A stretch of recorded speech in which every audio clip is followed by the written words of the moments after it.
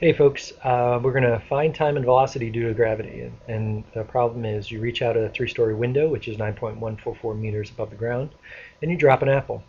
How long in seconds does it take the apple to impact the ground if you know that the gravity is 9.81 meters per second squared? So um, you're looking for a time, but we're actually going to use the equation d is equal to 1 half a t squared.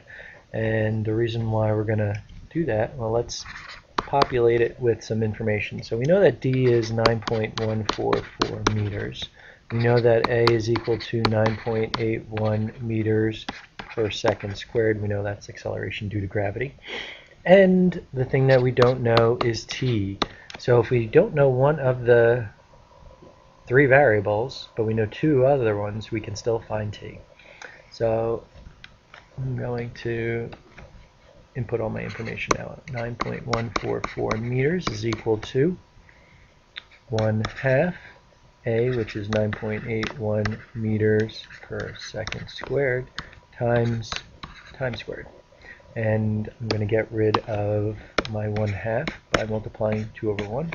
I'm going to multiply this side by 2 over 1, and that's going to get me into 18.288 meters is equal to by 9.81 meters. I'm going to put that over second squared times t squared. And when I multiply this side by second squared over 9.81 meters, second squared, just gets rid of that. And I just have to remember to do it to this side, so second squared over 9.81 meters. And the nice thing about this is the meters cross out, and when I multiply across, I get 18.288 seconds squared over a number, which is 9.81, and that's all equal to the only thing left on that side, which is t squared, and do the math of 18.288 divided by 9.81, I get 1.86 seconds squared is equal to time squared, and now the last thing I have to do is say, well, in order to get time by itself, I'm going to take the square root of that. I'm going to take the square root of that over here. So I'm left with seconds. I'm left with time. And I also have to square root the 1.86. And that's going to give me 1.3. So my time is 1.3 seconds. Then I'm going to use that because the second part of the question is what is the final velocity right there, right before it hits the ground.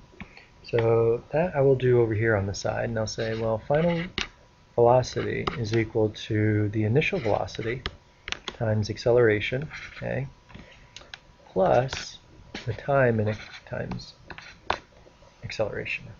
Well, we're starting off dropping the apple, so the initial velocity is 0 meters per second times a, which is going to be 0. So for this problem right here, it's going to be 0 plus. But acceleration here is 9.81 meters per second squared and I'm going to multiply that by my 1.3 seconds. And I'm going to just rewrite this one more time. I'm going to go down a little farther. So v of f is equal to, I'm going to get rid of that zero now since it's not needed. I'm going to write 9.81 meters per second squared times 1.3 seconds and you notice that something's going to happen with my seconds which is one of the two there is going to cross out that one there. So then I'm left with multiplying across. Well what's 9.81 times 1.3 and the answer is 12.7 I'm left with meters and I'm left with per second there and that's my final velocity. So that's how you solve for time first and then velocity or final velocity.